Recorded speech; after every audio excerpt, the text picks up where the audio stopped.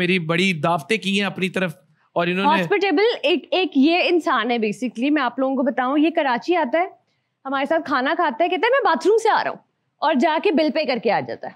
ये आई होती है इसने परसों भी यही किया था।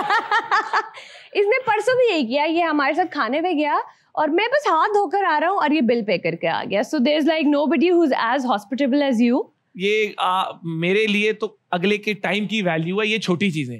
ये छोटी चीज़ है। आप लोगों के साथ अच्छा टाइम गुजारने को मिल जाता है खाने पे हो या यहाँ हो यही मैटर करता मैं है। मैं तुमसे पूछती हूँ ना तुम मुझे बताओ कि दो तीन ऐसे वाकयात बता जो तुम और अमान तो ऑस्ट्रेलिया में भी थे ना? वो भी नहीं बता सकता। ये ये कुछ इंसिडेंट्स हैं जो मुझे भी नहीं पता। नहीं नहीं उनके साथ तो- हमेशा मज़ेदार मज़ेदार वक्त गुजरता है।